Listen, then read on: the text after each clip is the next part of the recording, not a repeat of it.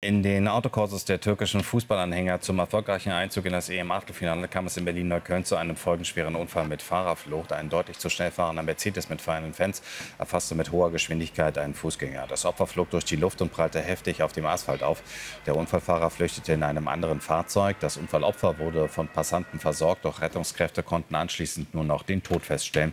Der Unfallverursacher stellte sich inzwischen bei der Polizei und er kam in Gewahrsam. Bei dem Mercedes handelt es sich um einen Mietwagen. Bei mir im Studio ist Benjamin Jenro, der Sprecher der Gewerkschaft der Polizei hier in Berlin. Herr Jenro, erstmal guten Morgen, schön, dass Sie zu mir gekommen sind. Wie müssen wir diesen Fall einordnen? Diese Autokurses, die gehören in Berlin ja einfach dazu, schon seit Jahrzehnten. Wenn die Türken gewinnen, aber auch wenn die Deutschen gewinnen, sieht man es immer wieder auf dem Kudamm in Neukölln, diese wahnsinnigen Autokurses. Jetzt aber dieser folgenschwere Unfall. Ja, schönen guten Morgen erstmal. Ich möchte erstmal den Angehörigen des Verstorbenen da mein Beileid äh, ausrichten. Ja, das ist wirklich auf brutale Weise da aus dem Leben gerissen worden. Wir müssen, glaube ich, jetzt ein bisschen auch aufpassen, was packen wir alles in den Kontext der Europameisterschaft. Es ist so, dass die türkische Mannschaft sich gestern durchgesetzt hat, ins Achtelfinale eingezogen ist, dann auch Leute gefeiert haben. Da ist im Übrigen auch Pyrotechnik und Flaschen sind wieder auf unsere Kollegen äh, geworfen worden. Also denen wünsche ich ja auch alles Gute, diejenigen, die verletzt wurden. Und dann ist es zu diesem folgenschweren Unfall gekommen. Natürlich sind, äh, wenn die türkische Mannschaft spielt, auf der Hermannstraße dann viele Menschen auf der Straße. Aber ob es jetzt wirklich in dem Kontext des Autokorsos passiert ist, mhm. deckt sich momentan nicht mit unseren Erkenntnissen. Aber es sind auch laufende Ermittlungen. Ja. Es ist ein Fahrzeug mit erhöhter Geschwindigkeit, wohl auch an einem Autokorso vorbeigefahren, rücksichtsloses Verkehrsverhalten. Und am Ende des Tages oder am Ende der Nacht steht ein Mensch, der sein Leben verloren hat. Letztendlich aber diese Autokursus, und ich habe es ja gesagt, die gibt es ja schon seit, seit vielen, vielen Jahren. Also man kann es ja nicht eindämmen. Es ist ja auch die Freude der Menschen auf den Straßen. Also wenn sie jetzt, wenn die Autokurses, die ich kenne, die sind ja eigentlich immer relativ zivil in Anführungsstrichen. Die fahren langsam durch, die, die, die sitzen da aus den Fenstern raus. Nach der Straßenverkehrsordnung ist das alles nicht erlaubt, klar, aber da drückt die Polizei im Prinzip ja auch ein Auge zu. Also ähm, man kann es auch nicht eindämmen, oder? Na, man sieht erstmal, ein Autokorso ist natürlich immer gefährlich, ne? weil wenn sich Verkehrsteilnehmer jetzt nicht so verhalten, wie es man im. Verkehr tun sollte, dann ist es immer auch eine Gefahr für Menschen. Aber wir müssen jetzt vorsichtig sein, ob dieser Unfall wirklich im Kontext zu dem Autokorso zu sehen ist oder ob hier einfach eine Person mit seinem PS-Boliden, ich glaube, es ist eine AMG, das heißt, wir reden über über 500 PS, ne?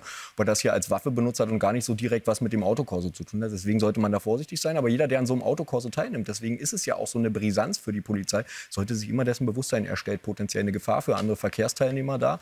Und deswegen äh, beachten wir das auch immer mit Argusaugen. Es gibt ja auch Hochzeitskorsi in dieser Stadt beispielsweise. Ne? Und da kann immer was passieren. Da wird die Polizei versuchen, dagegen vorzugehen, je nachdem, wie man das eindämmen kann. Aber sie können jetzt auch nicht jedem sagen, du darfst dich nicht mehr mit deinem Auto auf der Straße bewegen. Auf der anderen Seite muss man sagen, erst Fahrerflucht, jetzt hat er sich gestellt, der Unfallfahrer. Wie muss man das einordnen? Weil normalerweise tauchen die ja auch unter, aber dann letztendlich werden sie doch ermittelt. Also es waren Leihwagen. Man hätte eigentlich erkennen können, obwohl wir auch genug Fälle kennen, wo Leihwagen in irgendwelche schweren Unfälle verwickelt waren, wo die Fahrer dann nicht mehr aufgetaucht sind. Und wir haben ja auch einige Leihwagenfirmen hier in Berlin, wo man ja schon sagen muss, mh, am Rande der Legalität äh, arbeiten die. Aber wie wichtig ist es jetzt zumindest, dass er sich gestellt hat? Herr Hitler, das sind erstmal wichtige Punkte. Ja, in erster Linie reden wir über rücksichtsloses Fahrverhalten. Auf der anderen Seite reden wir über einen hohen PS-Boliden, der hier als Waffe eingesetzt mhm. wurde. Und gerade die Leihfirmen und gerade Mietwagenfirmen müssen sich auch die Frage stellen, ist äh, diese Nacht auch in Tegel ein Mietwagen gegen Baum gefahren? Ne? Ähm, können wir wirklich, müssen wir nicht Maßnahmen schaffen, damit wir gerade so eine PS-Boliden auch nicht an Fahranfänger geben? Na, wir haben ja viele junge Leute, die damit posen, die das gern zeigen. Brauchen wir das wirklich oder müssen wir hier gesetzlich gegen vorgehen? Aber ganz, ganz wichtig ist auch, es sind laufende Ermittlungen. Es hat sich eine Person gestellt. Ob es jetzt wirklich der Fahrer ist, das wissen wir doch noch gar nicht. Also lassen wir die Ermittlungen erstmal laufen, die Kollegen. Vielleicht war es auch einer, der dabei war, weil nach unserer es auch so, dass die Person jetzt nicht unbedingt wusste, dass er da einen Menschen aus dem Leben befördert hat. Also vielleicht hat er sich einfach gestellt, um die Verantwortung zu übernehmen, weil vielleicht der Fahrer alkoholisiert war oder gar keinen Führerschein hatte. Das werden jetzt die Ermittlungen zeigen. Das ist erstmal gut, dass man einen Tatverdächtigen hat.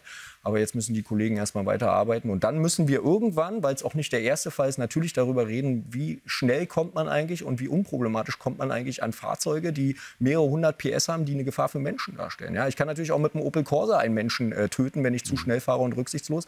Aber wir haben das immer wieder, dass diese Fahrzeuge gerade zum Posen auch natürlich ausgeliehen werden. Und wir sehen, wie hochgefährlich das ist. Benjamin Nenro von der Gewerkschaft der Polizei, ich danke Ihnen für Ihre Einordnung und ich danke Ihnen für das Gespräch. Ich danke Ihnen.